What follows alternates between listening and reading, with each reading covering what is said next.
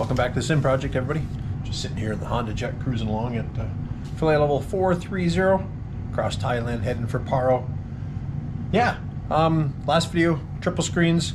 I'm slowly starting to get stuff dialed in. I'm going to do, once I do, I'm going to do a whole video on that. And this is not actually what that video is uh, about right now. This video is about something else. This is, is something I'm working on and been at this for a couple months now.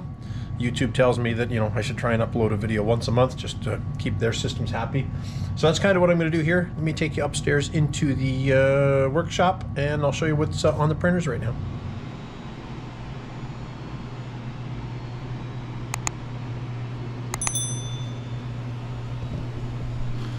That is a collective for a helicopter.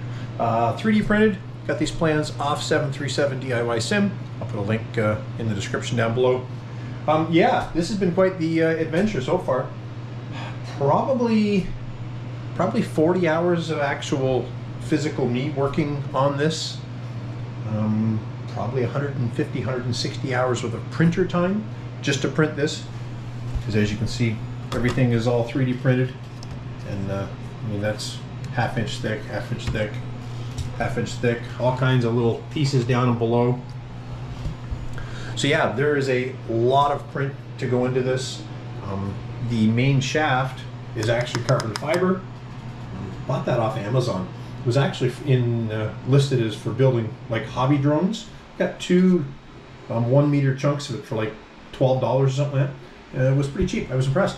Um, resin printed this. Now none of it's backlit. Uh, I did uh, resin print it in white, and then uh, spray painted it black took the file and took some of the uh, paint off to try and make the number or the lettering show a little better. I don't know if you can see that in there. I've uh, forgot to print this hat too, like that one. I gotta run that off next time I got black in the printer that's available doing something. So yeah, so that's a cyclic, and uh, the reason why there's so many parts and stuff to this thing is it's actually got force feedback. Like, let me see if you can hear that. There's a little stepper motor in there, similar to the stepper motors that run your uh, 3D printers and stuff. But yeah, little stepper motor in there uh, gives you some force feedback feel. Um, there's a, you know, you pull the, the trigger on this and that disables the motor so you can just let everything run free and loose. But that is the uh, collective. The cyclic is almost done. Here's, uh, so there's the handle so far. Again, resin printed this. Now, unfortunately, my resin printer won't print, you know, it is a two-piece part. It's got left and right sides. Uh, my resin printer won't quite print It is one solid piece, so I did have to split it, and you can see that split line right there.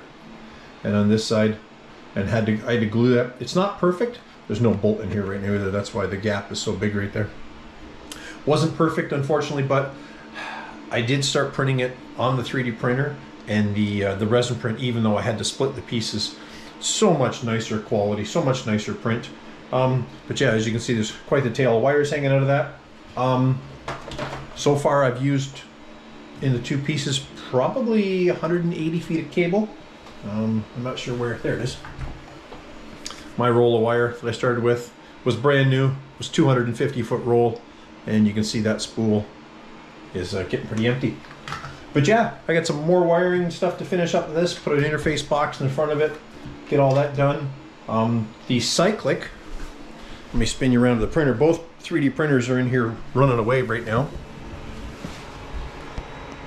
That's the main body that uh, all the assembly for the Cyclic drops into to give you your left and right and uh, forward and back. That's been on the printer so far 23 hours and 43 minutes.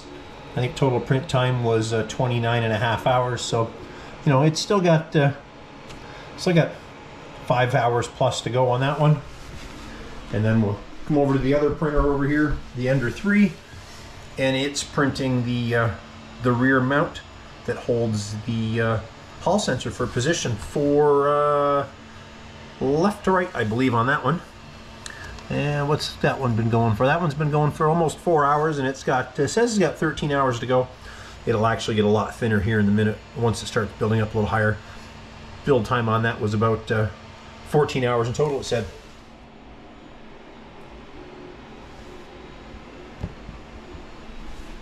So that's the uh, quick update on what is going on in the sim right now.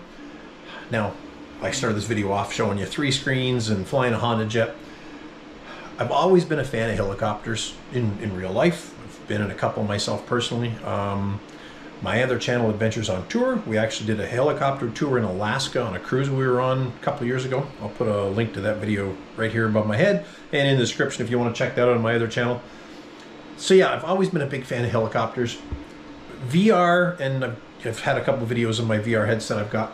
VR is phenomenal for flying helicopters, and and I I was gonna build this before I got VR, and then I started seeing some of the pass-throughs, and it's really accelerated me to push even more to get this because, like I said, I, I love flying helicopters. So much more going on. Uh, you've got both feet going, you've got both hands going. VR just gives you that whole sense of motion, so it's really easy, well, really easy to be able to land and maneuver. Far better than what it is just looking at a computer screen. So yeah, so we're gonna get those together. Um, probably part two of this video, little video series I'll make. Should have both of them done and uh, connected.